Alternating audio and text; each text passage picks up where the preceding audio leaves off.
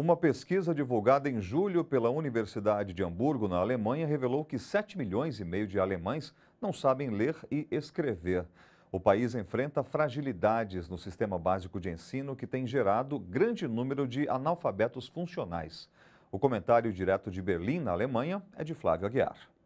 Os telespectadores que assistiram o filme O Leitor vão lembrar das agruras da protagonista daquele filme que chega a confessar um crime que não cometeu, qual seja o de redigir uma lista de pessoas a serem mortas num campo de concentração, para não reconhecer que era analfabeta.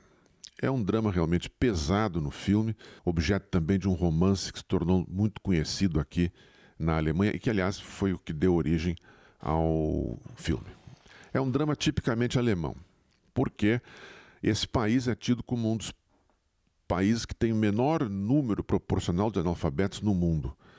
As estatísticas dizem que 99% da população alemã é, são constituídos por alfabetizados. Entretanto, um estudo recente da Universidade de Hamburgo mostra uma situação mais preocupante. Em primeiro lugar, o estudo revela que existem 7 milhões e meio de analfabetos funcionais uh, no país. Isto é, são pessoas que conseguem ler muito pouco, além daquelas que não conseguem ler nada, e uh, demonstram uma incapacidade para ler, inclusive, textos mais complexos, incapacidades de entendimento e até mesmo de formulação de textos que sejam mais complexos. Mas o problema é agravado por uma outra constatação da mesma pesquisa, que é que este problema ele se delineia nos primeiros anos da vida escolar dessas pessoas.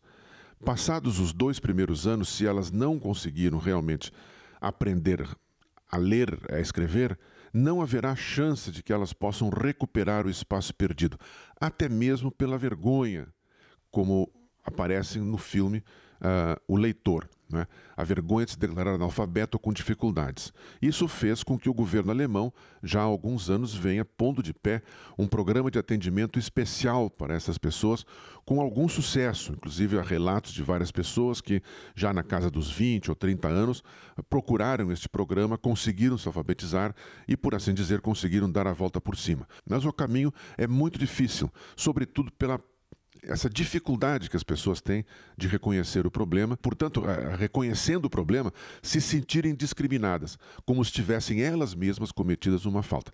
E também se discute como reformular o programa de ensino fundamental aqui na Alemanha, de modo a detectar esses casos ainda no tempo da infância e proporcionar uma recuperação nesse mesmo tempo para as pessoas que forem vítimas deste problema. Flávia Guiar para a TVT, direto de Berlim.